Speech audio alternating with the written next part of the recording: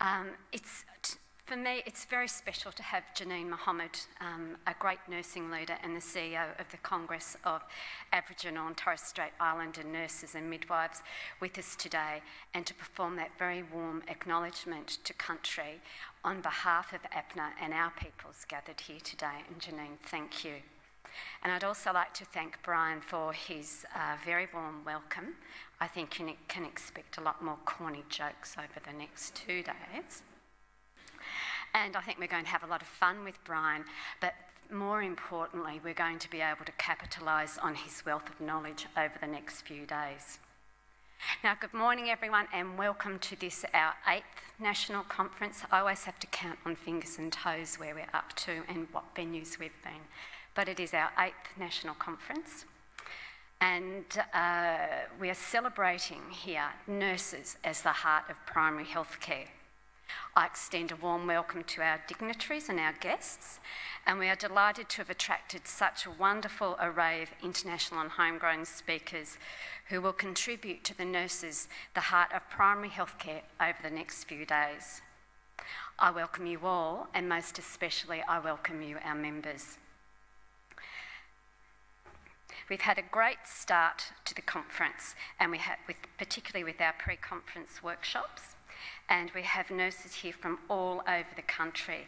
We also have a large number of PHN project officers who have come along, and we're delighted to have so many of you here networking and celebrating in time in primary health care today. And I know I say this every year that you will be noisy, and we expect you to be all as noisy as ever.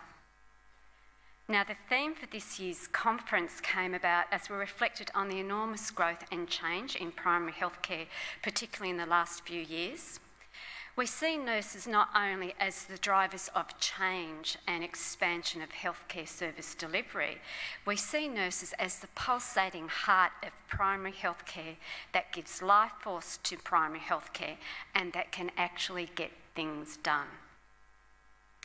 We've seen the membership of APNA diversify, and this adds to the richness, the picture, and the voice that APNA puts forward on behalf of primary healthcare nurses. We also see nurses wanting to be part of our organisation because of an alignment with their own personal values, a desire to be members and belong to a strong, supportive network of like minded health professionals. So, what are some of the things we know about primary nurses, uh, primary healthcare nurses? We know that their numbers are getting bigger. And we know that, according to the most recent registration data, over one in every two health professionals registered on AHPRA is a nurse, and one in every eight of those health professionals works in prim- is a primary healthcare nurse. Nurses are early adopters of uh, technology and uh, we know that from the Northern Territory experience, because they've analysed their e-health record, that nurses upload the most electronic documents. And we expect that to be reflected as we move into the My Health Record era uh, with, with, with more force. This time last year, we welcomed the Honourable um, Sussan Ley, the Minister for Health, to our conference on the Gold Coast. And prior to that, APNA had been working really hard beside, behind the scenes, lobbying to build the profile and better recognition of that pulsating heart of primary health care, the nurses. The Minister's attendance was a recognition of the work of the primary health care nurses. And shortly after the conference, the Minister announced funding for the largest body of work in APNA's history and that work is designed to build capacity of primary healthcare nursing workforce and funding to support that important work until 2018. And I know that you'll hear much more about our projects and um, pilot programs over the next few days. I think one of the really important things to note is that there is a real thirst for innovation in primary healthcare. And when we called for applications for our transition to professional practice pilot program and the enhanced nurse clinics that will be running over the next couple of years, we were completely overwhelmed with responses. We were subscribed five, six times over the number of not just nurses, but practices putting forward their practices and their nurses for those programs. This fits well with the shift in focus to upstream care that's one of the principal aims of primary health care and a greater focus on prevention, not only just chronic disease management, but integrated care between sectors and health teams. We can see the adoption of the recommendations from the Primary Healthcare Advisory Group, of which I was an appointment to that group, where we, we saw the recommendations accepted for healthcare homes and the pilots to be rolled out in 2017. Another one of those recommendations included greater support for flexibility in utilisation of the workforce and supporting health professionals to work to their full scope of practice. There will be exciting opportunities, and might I say, and it makes sense, for the uptake of enhanced nurse clinics to better manage access to, to care and resources. And we know that not every patient at every visit needs to see a doctor at every appointment. And in the briefing that David Malone and I were invited to at the department last week on healthcare homes, they have already identified that 59%, which is terribly precise, but 59% of practices already identify as employing a team member as a care coordinator, and predominantly that care coordinator is a nurse. We are seeing greater numbers of graduate nurses choosing to make primary health care uh, their first career choice. And exposure to primary healthcare and nursing curricula continues to improve, and APNA is connecting with students and working alongside universities to promote this as a viable and compelling career choice.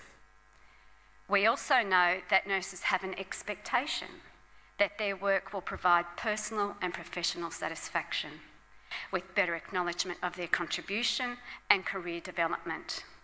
And for all of us as nurses and as the professional body representing you, we need to put that on everybody's radar. Other nurses, GPs, managers, employers, and in particular policymakers.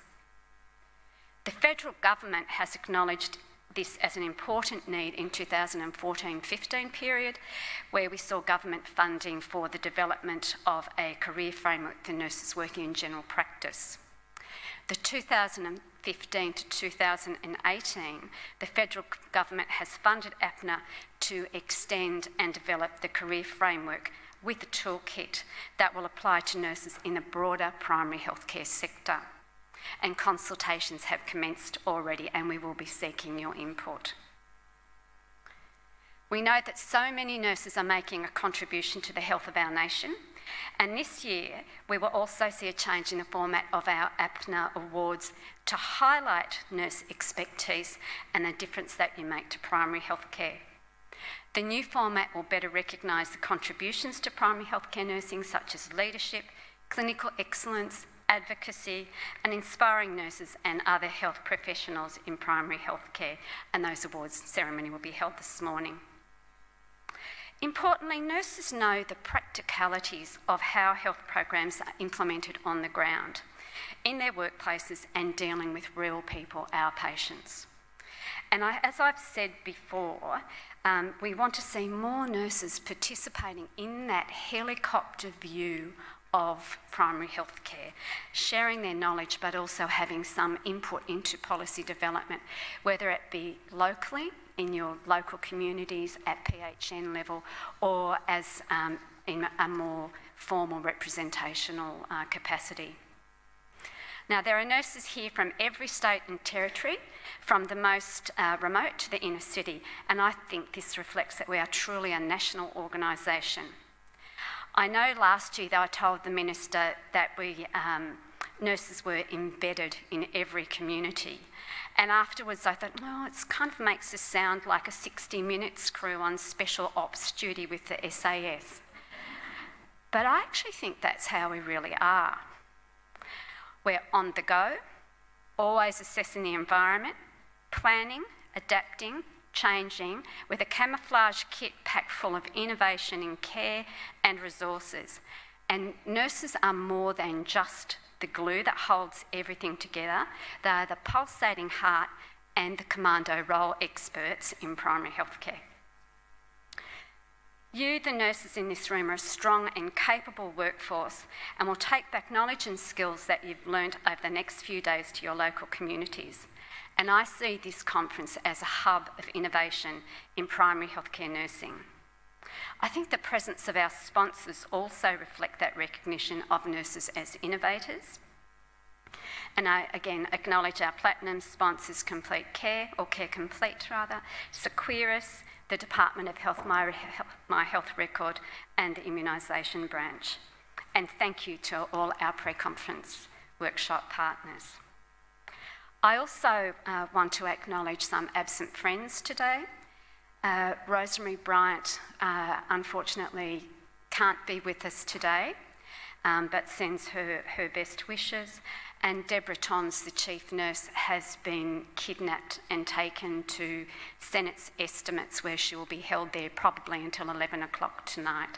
And she does send her best wishes for the conference. We're very fortunate to have two such very high, pro- high profile nursing leaders uh, giving support to APNA. I'm proud to lead APNA as our profile continues to evolve into a flexible and nimble organisation. APNA, as the peak body representing nurses in primary healthcare, continues to support the primary healthcare nursing workforce with high quality professional development, advocacy, and actively drive contemporary models in primary healthcare nursing. APNA will continue to forward focus and to help achieve our vision of health, uh, best healthcare through best practice primary healthcare nursing. So for the next two days, go forth, be noisy, network, visit the sponsors, have fun. I hope to see a few of you on the dance floor tonight and enjoy. Thank you.